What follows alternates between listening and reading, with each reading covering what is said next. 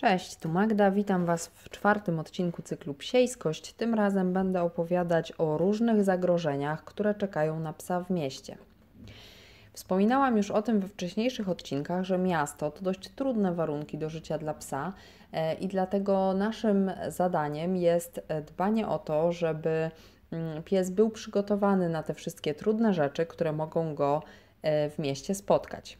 Częściowo będzie dało się tutaj przekazać w pewien sposób odpowiedzialność psu i wytrenować po prostu pewne umiejętności, które będą dla niego przydatne, a częściowo po prostu y, my musimy y, za tego psa odpowiadać i tak y, zarządzać naszymi działaniami, tak zarządzać otoczeniem, tak na tyle pilnować psa, żeby do tych różnych sytuacji niebezpiecznych nie dochodziło. E, no i tak, ponieważ e, od części z Was mam takie informacje, że odcinki są dosyć długie i że ciężko jest ich e, wysłuchać w całości, postanowiłam, że dzisiaj będę wymieniać tutaj do każdego wątku, który poruszę, po trzy punkty, takie, które mm, jako pierwsze mi się nasunęły lub które wydają mi się najważniejsze, po to, żeby było to takie bardziej treściwe. E, no i tak, mamy kilka kategorii tych zagrożeń, e, i pierwsze, o których chciałabym powiedzieć, to są takie zagrożenia ze strony samego psa. Czyli takie zagrożenia, które wynikają z faktu, że pies jest psem, co oznacza, że jest zwierzęciem, które kieruje się często zachowaniami instynktownymi. Mm, no i tutaj e, czasami miasto, będąc takim nienaturalnym dosyć środowiskiem dla psów, może mm, stanowić pewien problem, bo gdybyśmy mieszkali gdzieś na zupełnym odludziu, to te zachowania prawdopodobnie psu nie, nie mogłyby zrobić krzywdy, mm, albo byłoby to mało prawdopodobne, a w mieście niestety taka szansa rośnie. No i pierwsza e, sprawa, która tutaj się pojawia, to jest podbieganie do innych psów.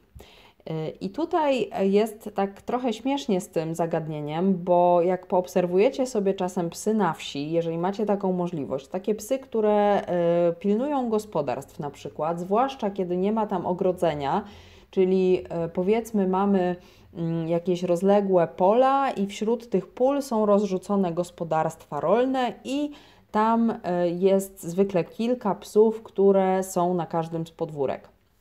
Jak zobaczycie sobie te psy i nawet będziecie przechodzić koło takich gospodarstw ze swoim psem, to możecie, będziecie prawdopodobnie mogli zaobserwować, że te psy, psy wcale aż tak się nie garną do tego, żeby podbiegać do każdego psa. One raczej oszczekują, pilnują granic swojego terenu, zatrzymują się na tej granicy, dają znać postawą ciała i często właśnie takim ostrzegawczym szczekaniem, że nie życzą sobie, żeby przekraczać te linie, natomiast y, nie pchają się one do bezpośredniej interakcji. Często zasikują na przykład teren.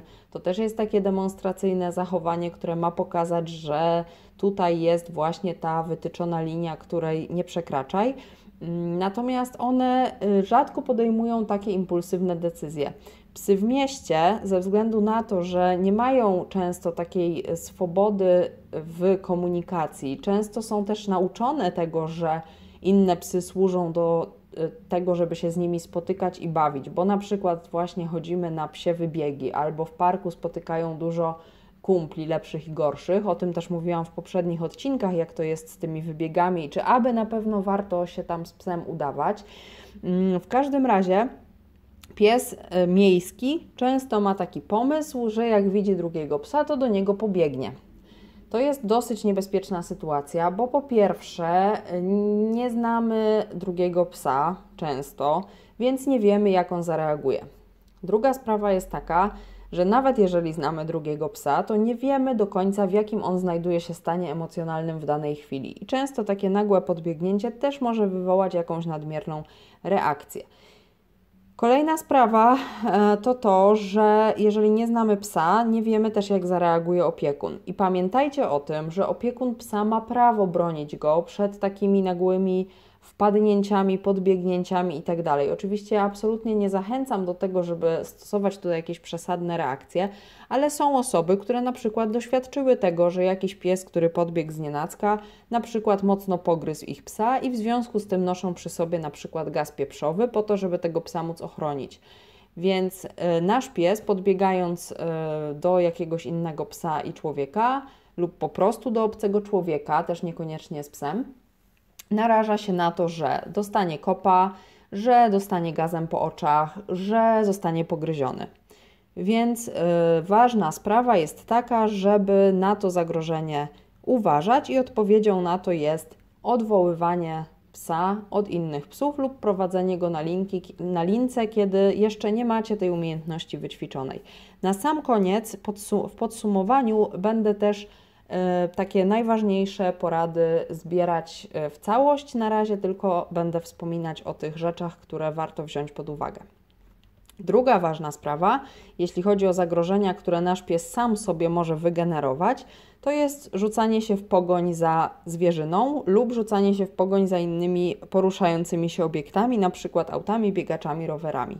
No tutaj sprawa jest dosyć oczywista, to znaczy nasz pies, kiedy nagle pobiegnie po prostu na oślep przed siebie, wyłączy sobie wszystkie inne e, bezpieczniki i nie będzie się na przykład rozglądać, czy coś na niego nie jedzie, e, no to oczywiście może wpaść pod samochód, może wpaść pod rower, może ktoś e, właśnie znowu mu się odwinąć powiedzmy kopniakiem, bo się wystraszy mm, i tak dalej, i tak dalej. Więc Kolejne takie zagrożenie to jest to, jeżeli nasz pies nie potrafi poskromić takiego instynktu gonienia i e, to może generować niebezpieczeństwo. W związku z tym znowu musimy albo nad tym pracować, albo mieć psa pod kontrolą, czyli na lince lub na smyczy. I trzecia rzecz, jeśli chodzi o zagrożenia ze strony samego psa, to będzie spłoszenie czyli to, że, na, że nasz pies, w zależności jeszcze od tego, jaki ma charakter, jakie ma doświadczenia, może być wrażliwy na różne nagłe hałasy. To jest znana historia, jeśli chodzi o Sylwestra, że kiedy są fajerwerki, jest hałas w mieście, są różne nagłe błyski, mm, to pies często może pobiec po prostu na oślep przed siebie wystraszony i tak samo nie, powiedzmy wpaść pod samochód czy zgubić się. E, w związku z tym na pewno y, trzeba znać swojego psa i wiedzieć, w jakim miejscu możemy go bezpiecznie puścić, czy tam nie ma jakichś odgłosów, które mogłyby go spłoszyć, albo jakichś y, zdarzeń, obiektów, które mogłyby go spłoszyć, bo to może być też na przykład jakiś nagły ruch, niekoniecznie dźwięk, czy nagłe światło, właśnie, jakiś rozbłysk. No i tutaj kolejnym takim elementem oprócz tego na przykład trzymania psa na smyczy będzie adresówka, bo oczywiście E, jeżeli nasz pies ma tendencję do płoszenia się, a nawet jeśli nie ma, bo nigdy nie wiemy na 100%, to koniecznie powinien mieć przy obroży czy przy szelkach adresówkę z numerem telefonu, a najlepiej z dwoma numerami telefonu, które pozwolą nam tego psa odzyskać. Druga kategoria, kolejne trzy punkty, zagrożenia ze strony ludzi. Jeśli chodzi o zagrożenia ze strony ludzi, no to y, podaję takie, które najczęściej się pojawiają E, według mnie w różnych mediach, w różnych nagłówkach czy w wiadomościach na Facebooku. Pierwsza sprawa to jest kradzież. E, wbrew pozorom nie dotyczy tylko rasowych psów, ale zwłaszcza rasowych, zwłaszcza młodych, takich, które wyglądają na potencjalnie możliwe na przykład do nielegalnego rozmnożenia.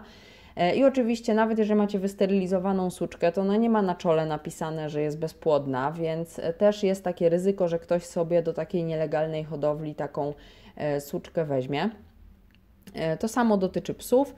E, no i takim proszeniem się o kłopoty, jeśli chodzi o to zagrożenie kradzieżą, jest zostawianie psa pod sklepem. Zostawianie psa pod sklepem jest niebezpieczne z wielu powodów, mm, ale to jest jeden z nich.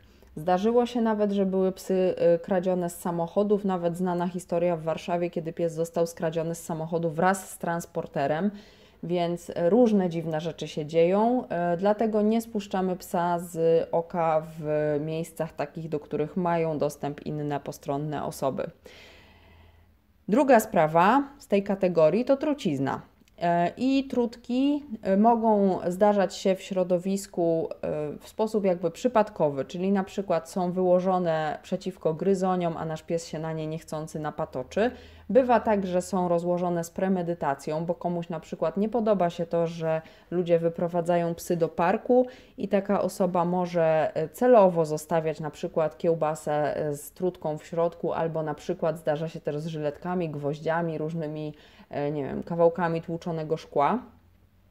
Czyli takie ryzyko tego, że nasz pies zje coś, co może mu zaszkodzić lub nawet go zabić. W związku z tym warto albo pilnować tego, żeby pies po prostu był pod kontrolą cały czas, e, albo jeżeli ma tendencję do zjadania co popadnie, to po prostu zakładanie kagańca i to takiego z podwójnym z podwójnym dnem, żeby, żeby pies nie dosięgnął przez szczebelki do jedzenia. Jednocześnie oczywiście pamiętamy o tym, że w kagańcu pies musi szeroko otwierać pysk, żeby się wentylować, żeby mógł się chłodzić, więc dobrze dobrany kaganiec. No i oczywiście uczymy psa tego, żeby rezygnował z podnoszenia e, przypadkowo napotkanych pokarmów. Bardzo ważna umiejętność. Trzecia rzecz w tej kategorii to przemoc ze strony innych osób. Mm, no i tutaj znowu zostawianie psa pod sklepem. Częste historie, pies został skopany, pies został spuszczony, wpadł pod samochód, na psa napatoczył się ktoś z innym psem, pies został pogryziony. E, tego typu historie naprawdę się zdarzają, więc zostawianie psa pod sklepem absolutnie odradzam. Sama przyznaję, że zdarzyło mi się to dokładnie raz, e, ponieważ szłam tylko po e, jedną rzecz, którą musiałam kupić przy kasie E, szyba e, była tak e, umiejscowiona, że będąc w kolejce do tej kasy widziałam swoje psy przez okno, więc wydawało mi się, że sytuacja jest relatywnie bezpieczna, nie spuszczam ich z oka, a jednak mimo to doszło do nieprzyjemnej sytuacji, bo jakaś pani z psem na smyczy po prostu postanowiła do moich psów podejść, mimo że miała 5 metrów chodnika mm, i miała możliwość je ominąć. No ale jej piesek chciał się przywitać, więc ona też chciała się E, żeby ten piesek się przywitał, no i to już była potencjalnie niebezpieczna e, sytuacja, a na pewno bardzo niekomfortowa dla moich e, psów. Więc nawet w takich sytuacjach, które wydają się w miarę bezpieczne, jednak zostawianie przywiązanego psa jest narażaniem go na niebezpieczeństwo. On jest bezbronny, nie może odejść. A jeżeli na przykład w samoobronie ugryzie, no to będą jeszcze tylko pretensje do Was i do Waszego psa. Więc odradzam. Kolejna kategoria zagrożenia ze strony innych psów. I tutaj znowu uwaga, uwaga, kto by się spodziewał, podbiegacze.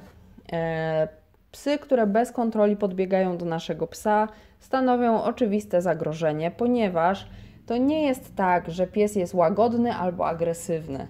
To, jak zachowa się pies, zależy w ogromnej mierze od tego, w jakiej sytuacji go postawimy. I często psy, które są po prostu łagodne jak baranki, jeżeli się bardzo zestresują, mogą ugryźć często psy, które są uznawane za agresywne, tak naprawdę, jeżeli mają możliwość i wystarczająco dużą przestrzeń, e, to będą w stanie się e, jakoś tam porozumieć z drugim psem i nie dojdzie do żadnej niebezpiecznej sytuacji. Więc mm, my musimy znać swojego psa, ale też musimy trochę obserwować, co się dzieje z tymi innymi psami.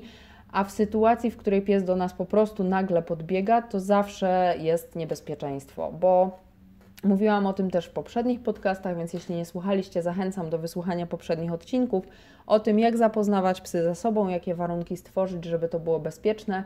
Takie nagłe wpadnięcie w kogoś. Yy, poprzez wpadnięcie w kogoś przez psa, czy w innego psa przez psa, y, zawsze jest sytuacją niebezpieczną i niekomfortową. Mm, no i to jest znowu odwołuje do naszych doświadczeń, gdyby nagle w ciemnej uliczce ktoś nam wyskoczył z zaramienia E, i nawet powiedział coś niby sympatycznego, no to to jest na tyle stresująca sytuacja, że e, trudno przewidzieć, jak się zachowamy. Więc, e, więc znowu na to uczulam i warto wybierać takie miejsca, na przykład jeżeli macie możliwość pójścia do jednego lub drugiego parku, bo macie do nich tak samo daleko, no to wybierajcie ten park, w, których, w którym takich podbiegaczy jest jak najmniej.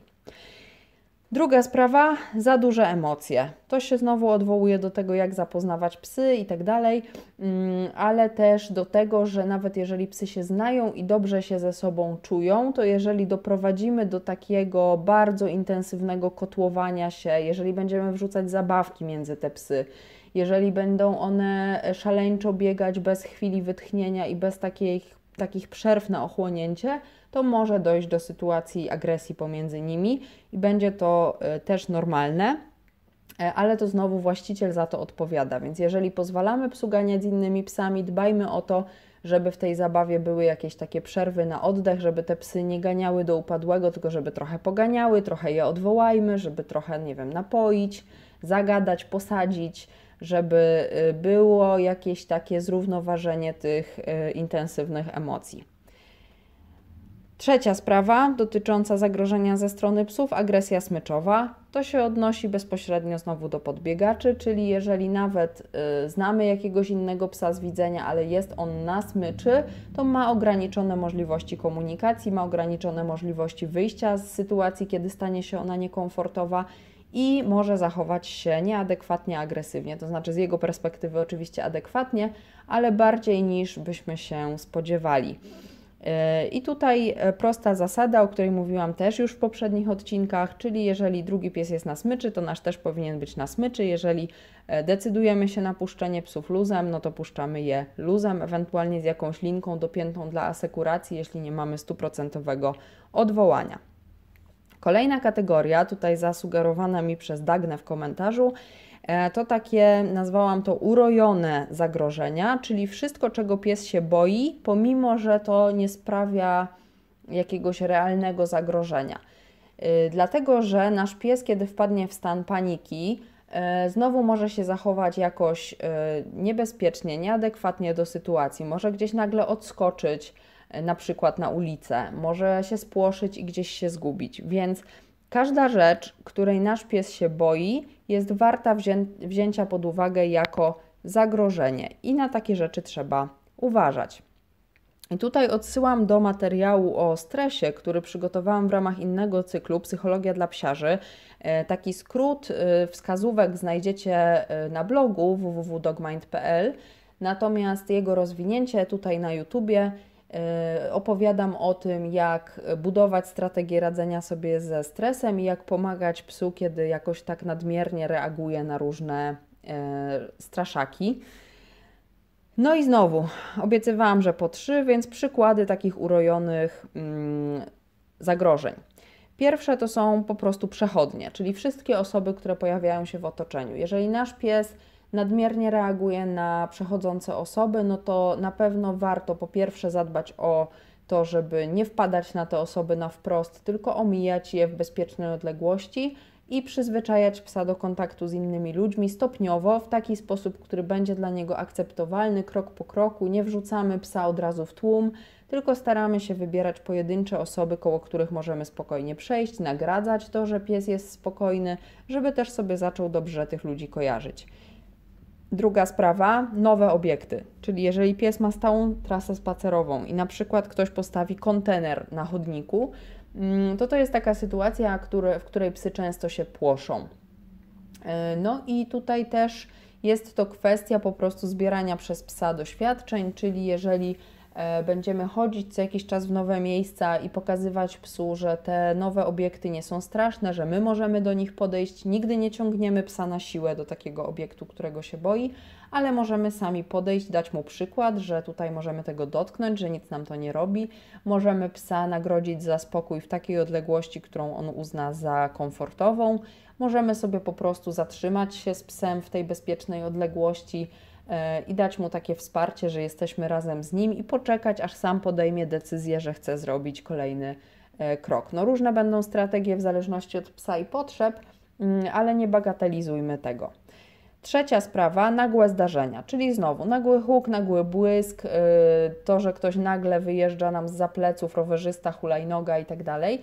Mm, no to to są też takie sytuacje, na które psy są wrażliwe często i można je przepracować też w toku treningu, czyli po prostu yy, na przykład robimy sobie taki trening rozproszeń, czyli ćwiczymy komendy, które pies zna w warunkach, w których czuje się komfortowo i dokładamy sobie stopniowo różne elementy, podkreślam stopniowo, czyli tak, żeby pies się na przykład e, jakoś tam obrócił w stronę, e, dajmy na to dźwięku, ale żeby się nie poderwał w panice. E, czyli możemy na przykład upuścić na początek, nie wiem, monetę czy długopis na podłogę, tak żeby pies po prostu się stopniowo odwrażliwiał na to, że aha, czasami różne nagłe rzeczy się dzieją, ale one w sumie nie są niebezpieczne, i jeżeli będziemy psa hartować na takie zdarzenia, to będzie też na to coraz bardziej odporny. Oczywiście obficie też e, nagradzamy za, mm, za, za taką dzielność e, w takich, e, w takich sytuacjach. Podsumowując, takie najważniejsze rzeczy, jeśli chodzi o zapobieganie zagrożeniom w mieście, które czyhają, zagrożeniom, które czyhają na naszego psa w mieście, to nie spuszczamy psa z oka. Nie dopuszczam w ogóle takiej możliwości, że przemieszczam się z psem po mieście i nie wiem, gdzie on jest.